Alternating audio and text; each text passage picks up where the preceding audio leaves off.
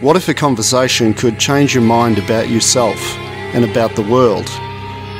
What if a conversation could one day lead to a change in government policy? I'm Dr. Mark Halloran, and you're listening to Deep Trouble.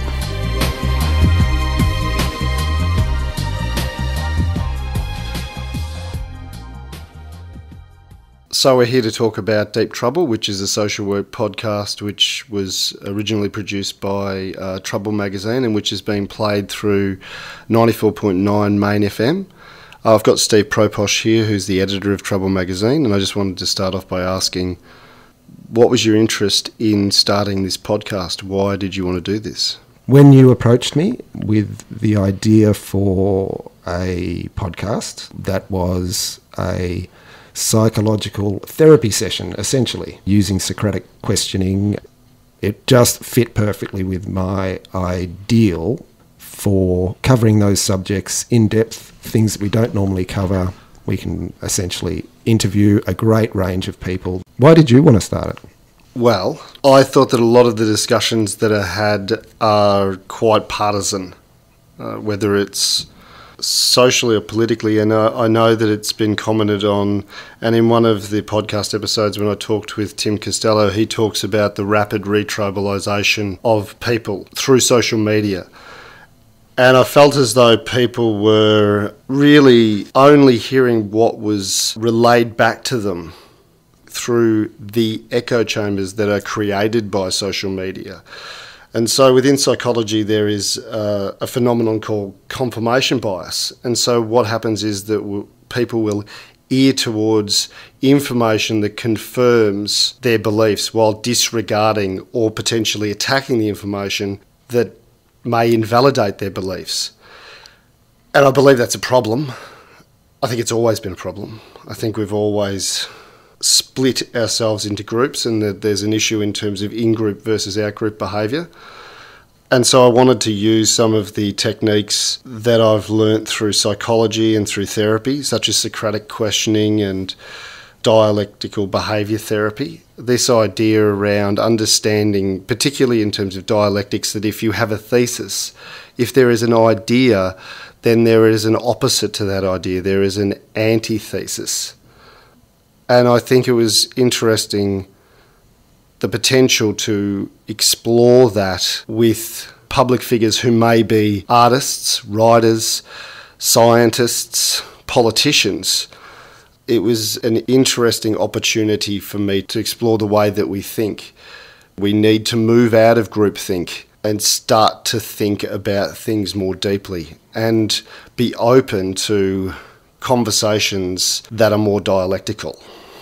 I think people want the deep conversation. Podcasts and radio shows, they give the opportunity for an hour long conversation, an hour long session where you can get deep.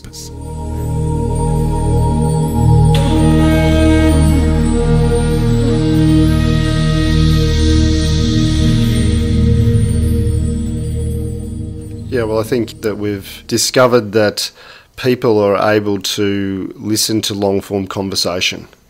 That the rise that we're seeing at the moment of the public intellectual, so people who are packing out arenas for two intellectuals to debate one another, shows us that people have the ability to listen to complex ideas over long periods of time.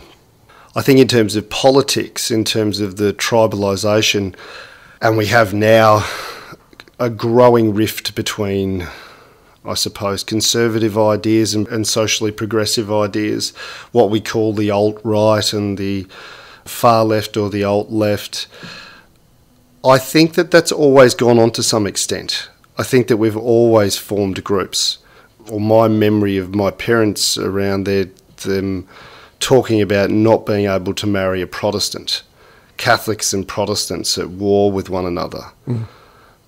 I think this occurs because people aren't able to listen and to find the commonality and or simply disagree with one another. And we're now moving into a space where we've got the, the issues with the conservative media, but in terms of maybe the more progressive media or the far left or to some extent, there's a factor or a section of that called the regressive left, where the idea that that ideas are dangerous and that we can't discuss ideas, and so we simply silence people, rather than the idea that if I disagree with an idea that you put forward, then it really is my responsibility to formulate the argument to show you at least why I think this idea is erroneous.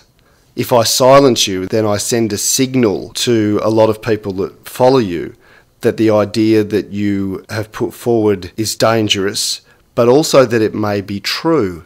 And when you silence someone, it's untested. Mm, mm. And so I think the greatest challenge for us when we continue with this podcast is for us to actually engage a range of different voices, and I think probably conservative voices. Absolutely. Join me in the centre is what I want to say. well, yeah, let's uh, let's develop a uh, a radical centre, as I've heard a politician yeah, like once that. say. It comes back to the confirmation bias that I was talking about before, but it also comes back to what I think the issue is, and I may be wrong but I think we're afraid of emotion in our culture. So when we talk about, and I've been to conferences where there's been talks about mental health issues or suicide, and and people have said, well, there were people who were upset by that, and we should have had warnings, trigger warnings that this content would be upsetting. But the issue is that we're uncomfortable with the fact that people are upset. Mm you see, we're living in a culture which has become sanitized and that we don't recognize that it's okay to be grief stricken, that grief is a normal response or distressed or sad. We kind of pathologize everything. It's in the same way we sanitize death. I mean, when I went to India and I went to Varanasi and I went to the burning Ghats and I stayed in a hotel outside there and they were cremating bodies in front of me uh, or washing bodies down on the Ganges we've lost something there. Absolutely, in terms yeah. of, and it really just speaks to our idea that you should never be, that there are negative emotions and there are positive emotions. And essentially, and this is what I do a lot in terms of my therapeutic work, people feel as though we need to ablate the negative emotions because we don't like to experience them. Mm, mm. They're uncomfortable, they're painful. Uh, and we want to have positive emotions. But we miss the fact that in life, the human experience the painful emotions are as valid and they teach us as much. We don't have to like them. No. The way that we segregate our emotions and try to control some and remove them and reduce them. And I understand them because they're unpleasant and painful. Yeah.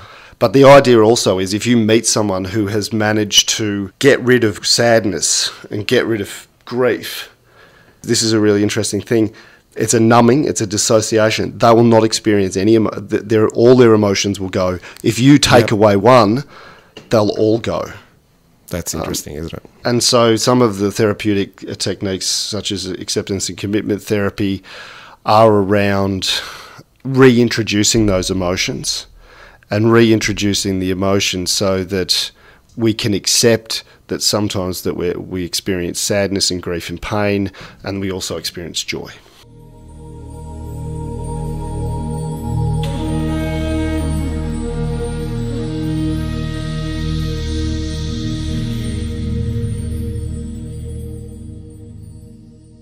Right, Mark. So we're uh, here today to talk with Georgia Banks, who's an artist uh, who has a show coming up in the Fringe Festival this year. Um, the work is called Please Tell Me What My Work Is About. Uh, what might you be discussing with Georgia today? I'll be talking with Georgia about her personal history, about her experiences as a woman, and about feminism. Right. So George's show is based on another artist's work, Lee Lozano, who essentially excluded women from her life for the later part of her life, from peers to, to waitresses, uh, everybody. She just stopped talking to women. What's George's spin on this? George is asking members of the community to be involved in her performance and tell her what her work is about. The only criteria is that if you want to be involved, you need to be male, straight, and white. And so she's deliberately excluding women, people from the queer community, and ethnic minorities. Right. So this work is as much about who it excludes as to who it includes, and that's what it's bringing light about. This is going to be really interesting. I'm, I'm looking forward to this. Let's go. What if a conversation could change your mind about yourself and about the world? What if a conversation could one day lead to a change in government policy? I'm Dr. Mark Halloran, and you're listening to Deep Trouble.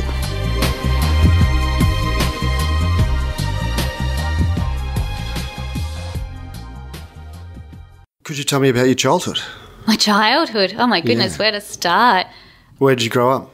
I've always had difficulty with this question. I I moved around a lot. So I was born in London and then moved to Australia when I was three to Broken Hill. And then after that, it was Cobar and then it was Burnie in Tasmania, then Mount Isa in Queensland, then Auckland in New Zealand, then Monkey Mia in WA, then Perth in WA, then back to Broken Hill for a year, then Sydney, then Adelaide, and now Melbourne. Was there a reason for moving around so much? Yeah, um, for the for the younger parts of my life, pre high school or up until the end of high school, it was um, mining mostly.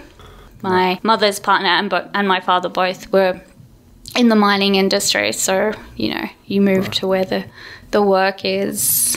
And then after that, maybe I was just in the habit of moving, so I just kept doing it.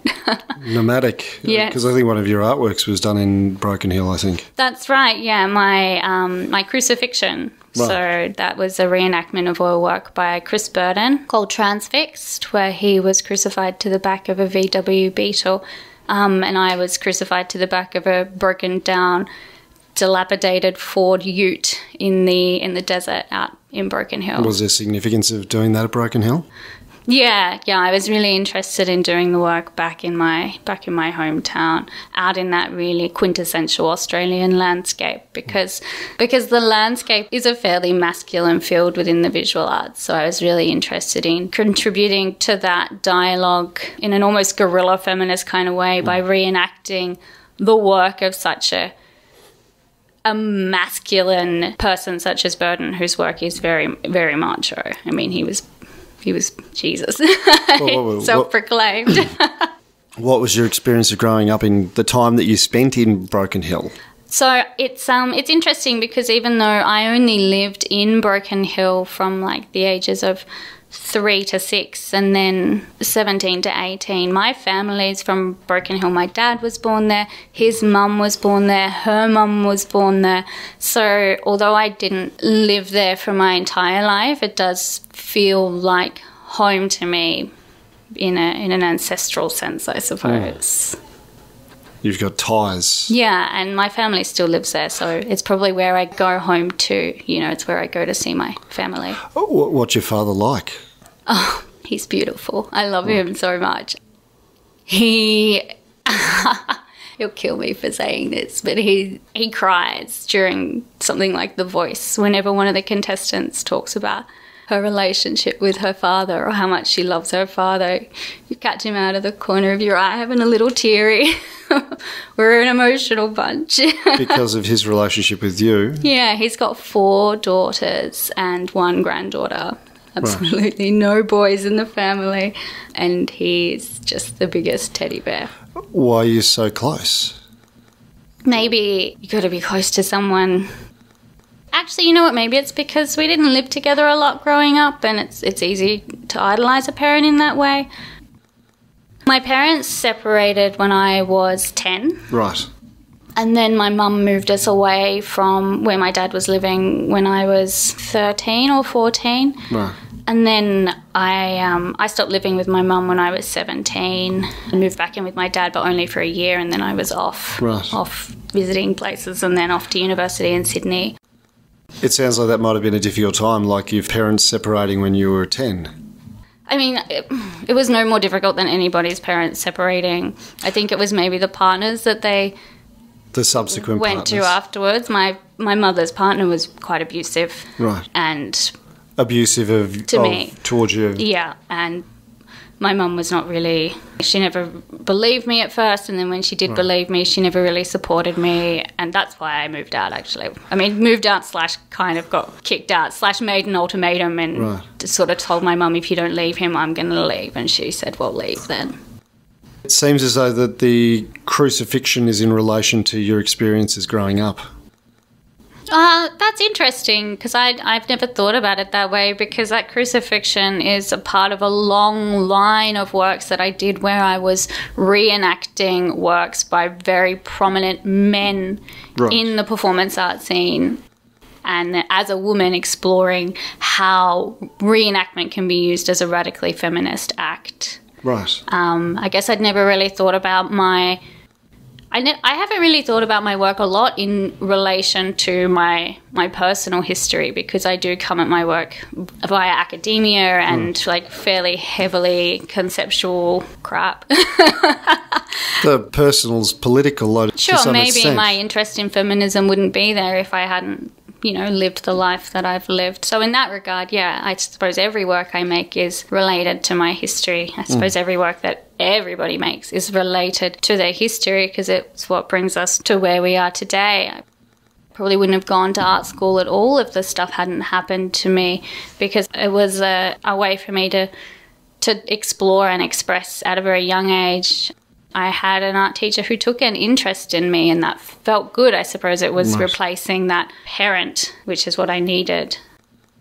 when I looked at your work, and some of it's confronting, there seems to be a focus on uh, cutting. That series of works was about um, how within performance art, the wound, because wounding in performance art is very prevalent.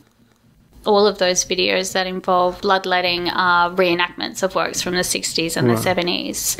And it's about how the wound can operate as a document of a performance in the same way that a photograph or a video Right. of a performance can, but it's a document that exists in a state of flux because it's forever changing because it exists on the literally on the body of the artist. Whereas a, a photo is a document that exists in a state of stasis because it just captures that one single moment. Yes. And so I was accessing and reenacting seminal works through through the wound specifically. So crucifixion is one. The branding. Um, Yes, on which is Parr. yeah, that was a that's a Mike Parr work where he he did brand himself with the word artist. Yeah. Right. I also did another Burden called Shoot. He was shot in the arm with a rifle. Right. I had two parts of my arm removed with a biopsy punch to uh, simulate the wounding that he had, but in a very different way, in a very um, maybe in a more female way, very slow, very penetrative. It was sort of about really pulling pulling apart, not recreating necessarily, but using the original work as a framework for discussing my own my own interests, I suppose, like feminism and also um, agency. I think that a lack of agency is something that comes up in my work a lot. It's giving my agency to somebody else, to the viewer or to the doer, I suppose. I've experienced powerlessness my whole life in those very prevalent and traumatic experiences, but also just as a woman in life every day. Yeah, um, definitely, especially when I was younger. Um, yeah, it's it's everywhere. You always feel it. I still feel it. I get so angry at myself sometimes that I still feel afraid to walk home late at night, Right. and I still have that. Carry your keys. Know where your keys are. Yeah, Potentially use. You can use your keys as a weapon. And it crosses my mind all the time, you know, like this person could hurt me. Well, it's dangerous being a woman. it really is. yeah, you can't escape it. No. I do want to talk about that more about being a woman and feminism. I guess I was interested when I saw your work, the work where you were cutting your hair and cutting into your back with the, Oh, with the razor her, blade. yes. Her. Um, and this was around, uh, I think you called it a an anti or reverse Samson that the the gaining of power could be to remove the hair because you're removing femininity. Yeah, that's right. There's a very, very long tradition exploring the limits of the human body, both physically and emotionally and psychologically, within performance art. And maybe maybe it interests me because of my own personal history, but You experience it differently, though. yeah, it's not like I put a lot of work into them, a lot of consideration for my mm. own safety, for making sure nothing's going to go wrong. There's often medical stuff there. I've at least discussed, Yes. you know, anything that involved bloodletting. So the I had a emotional nurse experience is present. different. Yeah, it's very it's very different. Yeah. And it is about exploring those concepts of of feminism and of reperformance. Um, and it's it's it's like a means to an end. It's not like I want to do this work because I want to hurt myself. Yes. Most of the time, I almost back out at the last second, like, why? am I I don't want to do this. This is going to hurt. But that's the most interesting part to me is that, like, it's not the most interesting part, sorry. That is an interesting part Yes. to me is that instinct of self preservation, but then letting that go as an artist is it's really interesting. It's really hard. So, I mean, I guess making the work that I make, it's very much literally and metaphorically sort of splaying myself out for the audience. And Feels like a confession. Sometimes, yeah. It's interesting how often Christianic things come up in relation to my work when I was raised so um, so atheist, but I think it's just a it's just a stand-in for the patriarchy Christianity. Talking about the history of wounding and that it occurred in the 60s. Oh yeah, in performance art, and also you know forever and ever there's been there's been mark making on the body. Like penitence, like uh, Um, yeah, and Spanish also within um, within communities, tribes, and stuff like that. That Yes. that marking that we are we are one. Part of rites of passage as well. There's been a lot of mark making on the skin to um, to signify moving from childhood to adulthood or anything like that. So. Right. Was it predominantly men doing wounding in that scene in the in the 60s? There were definitely women doing it as well. Jill Right. Orr, Marina Abramovich, uh, Valie Export uh, are all very um, incredible female performance artists from that era. Right. Because it seemed as though you were talking about recreating some of these pieces as a way of feminizing them. Yes, yeah, and that is something that I was interested in specifically with the work of Parr and, and Burden, for example. But I have also reenacted the work of, of women as well, Abramovich and Valie Export, for example. Is the wounding for women different to the wounding for men? That's an interesting question. I feel like maybe with regard to reenacting the work of women, it's almost about like updating the the dialogue surrounding the work. Like maybe it's like a reminder, like this issue is still relevant. Let's keep talking about it. the issue. Yeah, the, like feminism and the work of these women and Right. the ways that they were exploring the the female body and the woman in in relation to maybe the art world or just the world. When men wound themselves versus when women wound themselves, is there something different about that? Yeah, there is. I mean, in its purest sense, it feels it feels the same. But I do find that women's work is generally the work that these women were doing was very feminist. Right. And that immediately gives it a different feeling because it's exploring feminism. And so, even just the way that it's viewed and discussed within the mainstream, immediately it becomes different. It almost becomes relegated to, to being feminist. What does that mean? Um, well, like if a guy does it, it, it can mean anything. Can it? Well, you know what I mean. Like it's it's seen as this work that means this thing, whatever the artist says it means. Hmm. I don't know. I feel like often within being a female artist, you're expected to be either a feminist artist or you're very like actively not a feminist artist or something like that. Are there people who are actively not feminist artists? It's almost like you know, even when I was younger, when I was making work, I would say I'm not a feminist artist. I'm just an artist. Right. You know. why, why did you feel the need to make that distinction? Well, because that's what that's almost what we're told to do. I remember in the first year of my undergraduate degree, I had a lecturer who was like, "So you you need to decide if you want to be a feminist artist, and you need to decide if you want to be a queer artist, and you need to decide if you want to be an artist of mm. color." And it will get you into those like specialist shows, but you might Right. get left behind by the real art world. Right. Um, so it's almost like Well, it's almost like play the game. functional identity politics. Yeah, yeah, and it's very it's very prevalent within the art world. You know, there are always feminist shows that you can be a part of, or or shows that focus on people of color, or shows that focus on the queer community. And you know, why can't we just be in shows? What's your experience of feminism? What are your principles in terms of being a feminist? I do, I do identify as a feminist. Of course, I do because I believe in equality. Um, that's, I mean, at its, in its purest sense, that's all feminism is. I mean, feminism can mean so many different things to so many different people, and none of them are incorrect, really. In my own pursuit, Yes. that's the word of being a feminist. It's very much about let's let's make everything fair. Let's, and it's not just about you know white women, which I know that is a is an issue with you know like old school feminists like Germaine Yes. Greer, who's very transphobic, for example. Right. So his focus is very much on cisgendered women, which I I don't agree with. Because she's a second wave feminist. It is interesting raising Germaine Greer because she was recently deplatformed from the Adelaide Writers Festival. She's written an essay called On Rape because she'd done previously one called On Rage, and I think that was about Aboriginal men or the, issues with rage within the community. Do you think that she should be deplatformed? Yeah, I do. I don't agree with her views, and I don't think she should be given access to a platform because I don't agree with what she's saying. Although, you know, we're all, that's tough because we're all entitled to our own opinions, aren't Yeah. we? But just, I don't know why she would be given the responsibility of educating new people because her views are outdated now.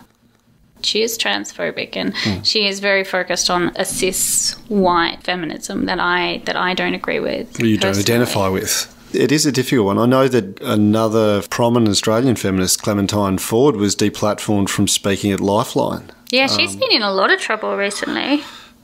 Right, I don't know why, right. but I did hear about this on the grapevine. Yeah, because uh, she had tweeted something to the effect of, and I don't know if I've got this correct, but kill all men. She said she'd done, and obviously done facetiously. Sure. Do you think that she should be deplatformed? I mean that is inflammatory. No, but I don't know. I don't. I don't know. That's a good question. I mean, I don't think we should kill all men, but I, I understand that that's a, a rally cry that it's really it's to be taken with a grain of salt. She's not Solanas. She's not actually going to go out there and shoot Warhol. you know, No. she doesn't think you're all turds. Sure. Maybe. I mean, I'm interested in this because I guess they're still just ideas, aren't they? I mean, some of those ideas are dangerous, uh, or they, Yeah. they seem like dangerous ideas, but they're still just ideas that people can have. I wonder if Germaine Greer is educating me or whether she's just expressing a controversial idea like a provocateur. The idea behind Clementine Ford's tweets is just to be a provocateur. Yeah, I don't understand why there's. I mean, it feels like there's a distinction there that maybe I'm not quite capable of grappling with, but I do think that Germaine Greer does believe those things because she's been touting this for for a long time. Yes. and has been exclusionary to the trans community. And come, as far as I know, Clementine Ford hasn't killed any men. Do you know what I mean? It's it's practicing it, and this is this is what Germaine Greer does practice.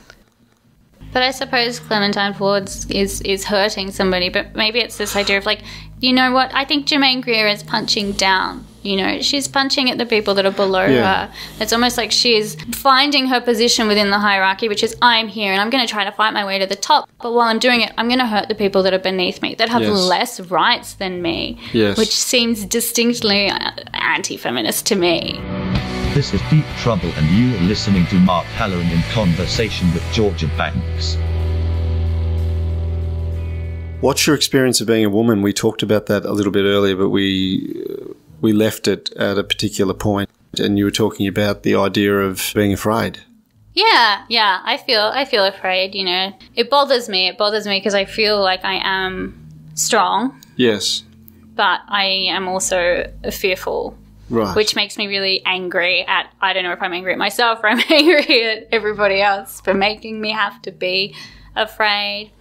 And then there's this level of like not being believed or listened to. I remember I was walking home from the gym one day and there was a guy walking on the same side of the street as me, but in the opposite direction and he passed me and then he turned around and he started walking behind me. Yes.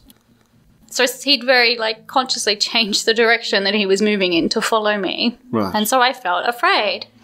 I spotted a young guy getting out of his car across the street. So I ran across the street and I said, There's a guy, he's following me. I don't live that far away. Do you mind just walking with me until he leaves me alone or until I'm at my front door? Yes. And he sort of looked at me like I was crazy. Right. And then he said, Well, I feel like if I walk with you now, he might damage my car. Right. but that's That was that was what he said. He was more concerned with the safety of his car than my life. yeah. And No, this the- guy during this conversation had stopped across the street and was quite clearly waiting for me Right. as well. It was yeah. I've worked in non-government organisations and uh, worked with women and women who've been suffered domestic abuse and worked with perpetrators. Uh, and one day they were doing some domestic violence training, but they asked a question of the room and they said, "Put up your hand if you've walked to the car at night and been concerned about being attacked, and you've taken your keys and put them between your fingers." Yeah. And all of the women put their hands up. Yeah. And that was probably when I realised the difference. It is something that we just take for granted. Yeah, and I think that's in the Me Too movement has been quite revelatory in that sense as well, hmm. because I was like, every single woman has a story that involves assault or harassment Yes. um, to varying degrees. But I'd, I'd say there's not a single woman on the face of this planet that hasn't had somebody at least wolf whistle at them or say Yes. something to them as they were just walking down the street. And then all the way up to being raped and assaulted. Yeah, we all have at least at least one. I mean, I can think of many, and they shape our lives from a very young age. You Yes. know. So I did a work recently called Hello Boys, where I was on Periscope, which is Twitter's live streaming platform. And as I was performing, anyone could comment anything as it unfolded live. So anywhere Right. from all over the world, and you know there was lots of like hitting it from that angle, and you have a nice ass. Right. we could say over in America probably. yes. and I suppose just shining a light on it is is subverting it, or like it's almost like you're you're Bringing it to the surface. yeah, and you're pandering to it in order to bring it into a into perspective, to prioritize it within a conversation that's happening. Whereas, like this is what's happening to women online all the time. I open Instagram, people send me pictures of their dicks that I've never spoken to, that I have no idea who they are. Right. Is You that in relation to that work? No, that's just something that happens to women online. Right. Maybe you could delve into this a little bit more. The the impulse behind sending somebody a picture of your penis and whether it's an aggressive act or whether you really think it's going to lead to some kind of sexual tryst. That objectification of women is something that I explore a great deal. Works I've done that explore the relationship between food, sex, and feminism. It's about that idea of not only do women become objects, but they become consumables, something to be consumed.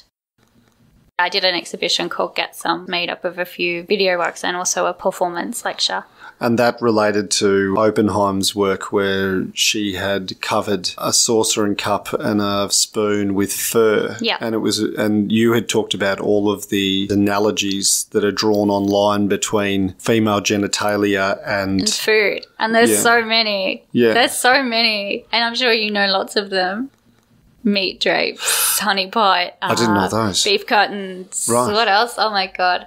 Like hot pocket and like you know how it looks like a like a sideways taco and like yeah and even if it's a joke it's it's it is degradation yeah. you know and it's it's intentional or not but there is a lot of aggression around discussing female sexuality and female anatomy How do we talk to one another? it's it's difficult because I feel like we're in a place right now where women are just sick of this, you know, Yes, sick, sick of, of- having to be afraid, and we're talking about it, and that's great. Yes. and it's making men feel picked on, Mm. which is making them angry, and we're angry, and they're angry, and everybody's just so. f- Angry. Yeah. And it's really not getting us anywhere yet. Yeah. But I do think it's the start of something Yeah. because it's being talked about.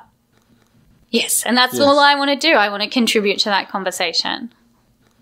I feel frightened to say things all the time, to point to issues that we have. Even this work that I'm doing now, it's it's risky for me mm. because I can make people very angry with, mm. with me and it can be can be a bit dangerous. Yeah. But you know, what I'm really interested in is pointing to a system that favors one way of being and saying, well, this isn't this isn't right. And I hope that in doing that, at least it's it's the start of something. It's shining a light on a problem. And then maybe further down the line, we can have a discussion about how to change it. But right now, we just need everyone to get on board with the fact that it's a problem. Yes. You know? Your latest work, which is uh, you've asked straight white men to comment on it. yes, to tell me what my work is about. Right. Yeah. So maybe you could explain the purpose of that. Oh, well, the performance hasn't started yet. Hasn't started It's yet. between the 12th and the 22nd of September. Right. So the work is you can sit down, you, you can either make an appointment to sit down with me face to face Right. and tell me what my work is about, or you can do it online, which is 100% anonymous. So you can say whatever you want, and there's absolutely no way for that to come back to you. So there's two different ways that this work operates within two different frameworks. Because you also had a work where you, I think it was to kind of um, emulate what goes on with dating apps uh, like Tinder, but the difference was that people contact you by phone. Oh, intercourse with the artist. Intercourse with the artist. Yeah, which I did earlier this year for Fola, and anyone could phone me for 48 hours. So I had phone calls for 48 hours straight.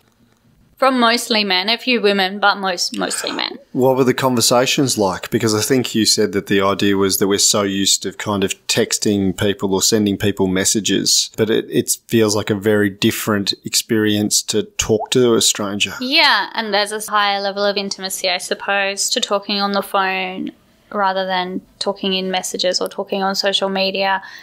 Because I think we dehumanize each other on the internet pretty easily. Yes. Like, we're, it's very easy to be abusive to somebody on the internet and not think about them as a human being, how that's going to affect them. And I was interested to see if that would be different on the phone. Right. And I'd say it was. People felt very connected to me. I didn't necessarily feel that connection because I was talking to a lot of people over a very long period of time and I was very, very tired by the end of it. But I had people calling over and over again. I had a guy who called four times during the performance, and I only know this because the last time he phoned me, he started speaking to me about something, and I was like, I don't know what you're talking about, sorry. And he said, Well, I've phoned three times before. Like, you should know who I am by now. you felt like there was already intimacy there. felt like I owed him something, yeah. And I had a guy message me afterwards who said, This is the most meaningful connection I've felt with somebody all day. And I was like, I don't know which one you are. Because I spoke to so many people. And I had people messaging me afterwards. what do you think people's motivation would be to do this? Maybe curiosity? I don't know. I mean, I had a fair few people hang up on me when they realized it wasn't phone sex. Right. Pretty abruptly, too, like mid sentence. Boop, they're gone. Oh, Right. okay, bye. Because it's a strange thing to talk to a stranger. I mean, I worked Yeah. for Lifeline for two years, and Yeah. getting a phone call at three in the morning from someone who's lonely or possibly suicidal Yeah, is a strange experience. I can imagine. So I think you must have had strange conversations. Yeah, I did have some strange conversations. Uh, funnily enough, I had a lot of guys call me and tell me what they thought my work was about. Really? yes. Was that part of the inspiration then to move yeah, on it did the- partly inspire this new What did they think your work was about? It was little things like they'd be like, "Oh, do you know the artist Marina Abramović?" And I'd be like, "Yes, I do." And they'd be like, "Yeah, she's this artist that um she did this work, and I think it was called like um rhythm something." And I'd be like, "Yeah, it's it's rhythm this." Like and Yes. like, but they would continue to tell me, even though it's like I clearly know more about this than you. Right. or like, have you ever considered the fact that your work might be quite feminist? Yes, it is. It's it's decidedly so. Because it feels like when you're talking about it, you feel like that's entitlement that they that they're explaining it back to you when you're Yeah. obviously yeah, the artist. mansplaining. You're right. Yeah, that's that is a uh, a new term. Yes, yeah. I don't know. When I listened to it, I only listened to. I think there was a pre-recorded phone call on your site. It felt like loneliness. there was some component to it. Yeah, and maybe so. And that's something I had sort of um, was this idea that there's this access to somebody for 48 hours. You can say whatever you want to them, talk to them about whatever you want, and then it's gone. At the end of the 48 hours, that phone's switched off, gone. I haven't turned it back on since. Right. So it's yeah. And it maybe it is about this kind of idea of um, selling intimacy, intimacy as a commodity, which is something that is you know, which is done. When we're online, it's so easy to to dehumanize somebody and say whatever you you want to them. I mean, when I did do that work on Tinder, I had a guy who one of the first things he said to me was, "I can teach you how to take it up the ass." Right. And I said to him, "I'm really interested in why you would feel like that's an okay thing to say to somebody you've never met." And he said, "Well, this isn't the real world. This is Tinder." It seems as though being anonymous changes things.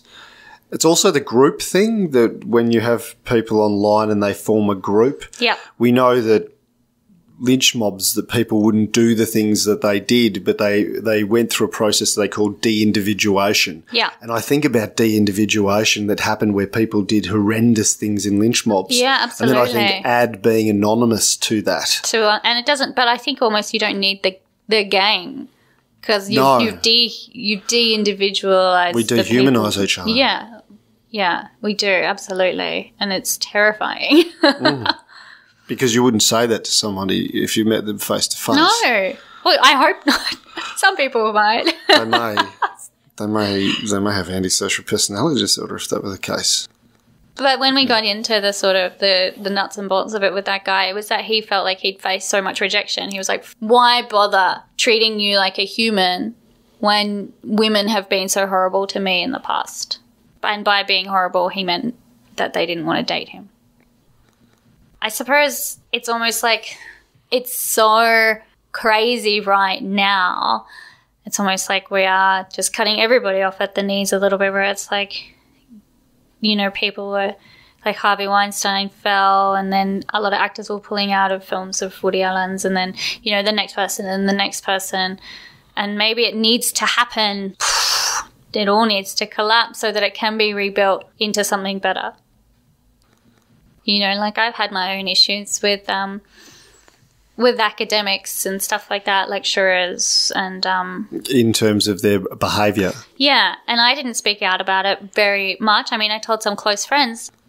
Actually, I told a close male friend that one of my lecturers had done something pretty uh, questionable. Right. And he was like, Well, I don't want to hear that. Almost like, I don't want to hear that because I don't want to have to do something about it, or I don't want to hear that because I don't want to have to adjust my opinion of him, mm. which seems to happen a lot around these things where these accusations are being made. And it's met with a lot of like, no, I don't really want to know about this at first because before the whole Louis Louis C.K. thing sort of crumbled in and became what it is, there was years or decades or something where these women would have been just sort of like quietly telling each other, just watch out for that guy, you know? Sounds Um, like a network. Yeah, or telling a close friend, like one comedian telling another close friend, a male comedian, like he did this, and they're almost like, well, I don't want to know about that because I look up to him. Yes. Do you know what I mean? Uh, yeah, and so that's really tough for women as well in these situations. Is coming forward is hard, and it is not met with a lot of support. Belief. And so when people are coming forward, like, and then they're not being well believed, I don't see a lot of changes being made on that really high up level. And I think that at the moment we're just doing what we can with what we've got. This is Deep Trouble, and you are listening to Mark Halloran in conversation with Georgia Banks. Um, I, I had another question. I'm just trying to think. Do you have any thoughts so far from what we've talked about? It's, it's intense. A lot of interviews I've done in the past have been just like.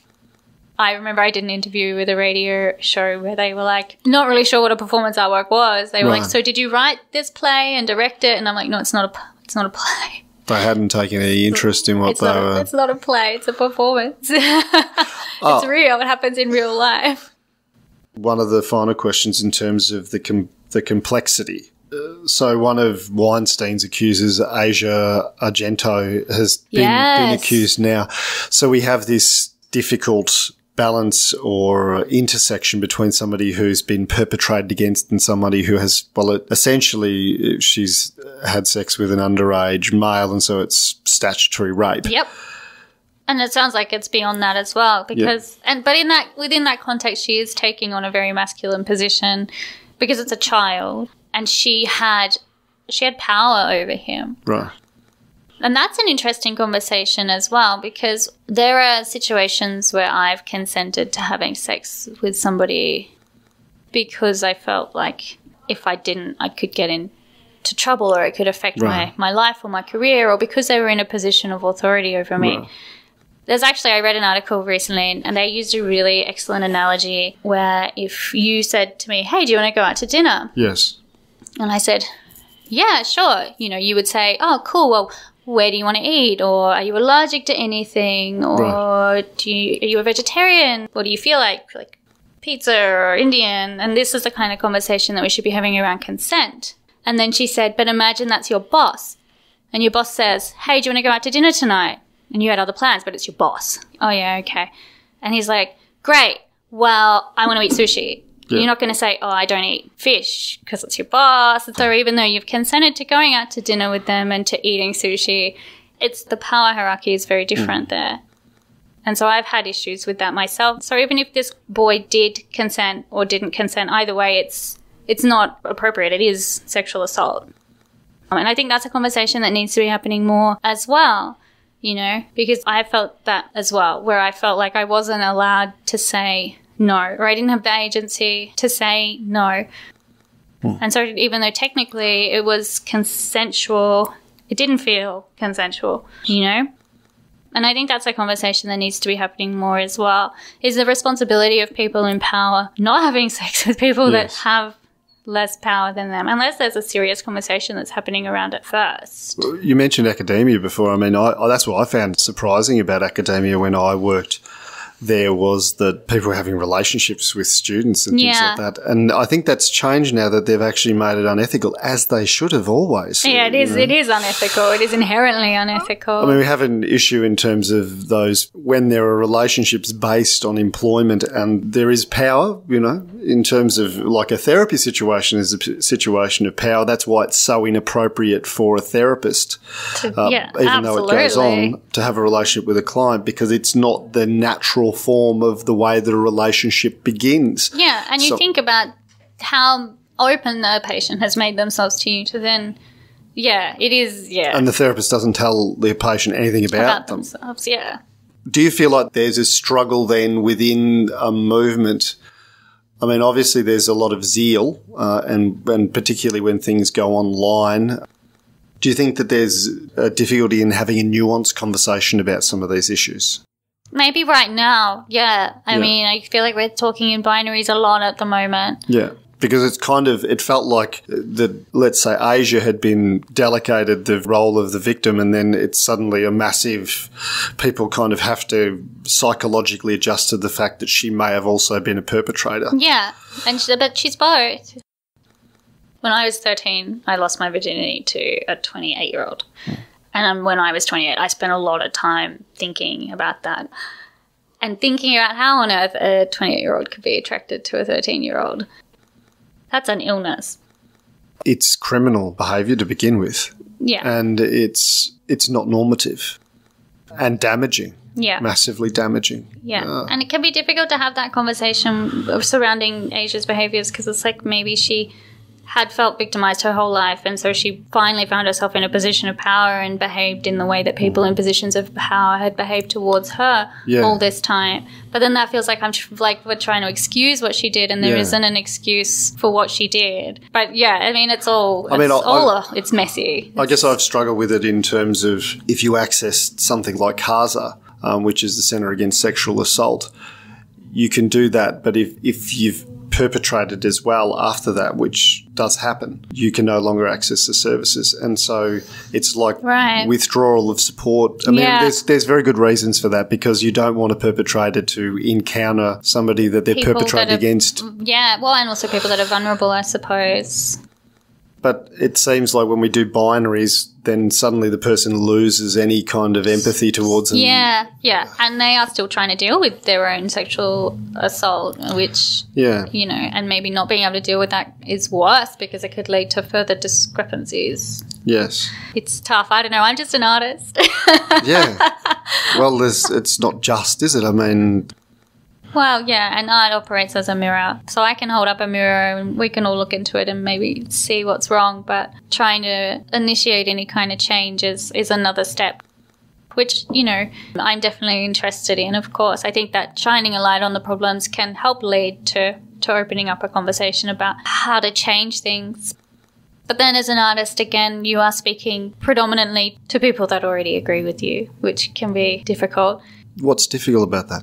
Uh, well, if you want to make change, you need you need to be reaching a broader audience. Maybe you know, I suppose going to a group of people that are very left mostly, and you know, already believe in in what I believe in, and going, this is an issue, and they're going to say, yes, I agree.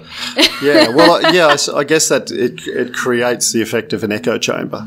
So you never get the chance to test other people's ideas and you never get the chance to have your own ideas tested. yeah, And that creates a kind of an orthodoxy which is comforting, but sometimes it creates other problems.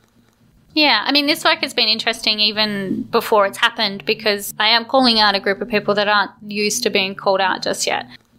And they exist within my art world everywhere and um, Right. are my friends, you know. I actually once had a, a friend of mine who's an artist who said that, you know, well, no one's knocking down my door to have shows, so, you know, it's basically saying that like feminism didn't really need to exist or something because no one was knocking down his door to be in shows. You know, you were getting preferential treatment or something. Uh, yeah, maybe. I don't know. Right. Um, and so I am already getting some rather um, bristled reactions. right, from other artists. Yeah, yeah. I mean, all of the straight white men that I've talked to about the show are a bit like, oh, well, that's making fun of men, which I don't think that it is making fun of men. I think they feel like they're being put on the spot to participate. Like if they're if they do participate, they're going to be made fun of in some way. What is the purpose? I suppose it's more about like we are all operating within a framework that favors one narrative and one voice. Yes. And by participating in the project, you're just you're agreeing that this framework is in place and that you are a part of it and you know maybe it's it's about agreeing to to change it because we can't really change it from the bottom we need the people at the top to help to go you know what this As is allies. this is screwy Yes. and it needs to change. But I can understand why you wouldn't want to change a system that you're at the top of because you'd be like, well, what's wrong with this? This is Maybe this they is don't. Maybe they don't know how. Yeah. Well, yeah, how and, and why. And also, you know, maybe they don't, you don't always realize as much that something's going wrong if you're at the top of it, you know, because you can be like, no, everything's fine. I mean, I uh, started to read uh, more about feminism, and I got to reading parts about feminism and uh, social constructionism and science and things like that. And one of my favourite philosophers, and probably the person who is important and base my ideas in terms of empiricism on, would be Aristotle. But Aristotle viewed women as sort of mutilated men. Yeah, right. I begin to wonder how much of that informs a particular narrative. Yeah. And that's all this work is, is that there's, there is a, a narrative that is being prioritized within Yes. the art world. And it is that of straight white men. And Yes. I'm not trying to point to anybody and, and be like, you, you're the problem. You know, it's more like there is a problem. Let's all just agree that, that this is a problem. This is problematic for everybody. Because why do we want to keep hearing the same story over and over again? There's so many other stories. And they all deserve as much attention, not just a show in March, you know? Because you're deliberately excluding voices on this to show uh, something about power dynamics. You're excluding other groups. That's right, because their voices are being excluded from the world, from versions of history, and from the shaping of now. It's a microcosm. Yes. um, thank you very much. Thank you. We, um, we might leave it there.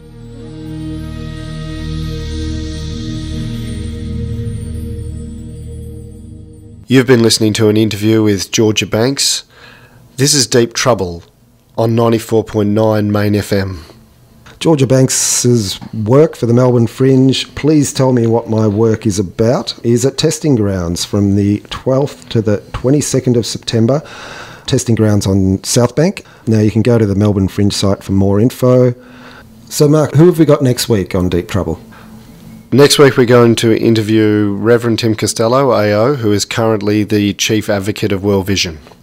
Brilliant. Well, look, uh, thanks for listening to Deep Trouble on 94.9 Main FM. I'm Steve Proposh. And I'm Dr. Mark Halloran, and this is Deep Trouble.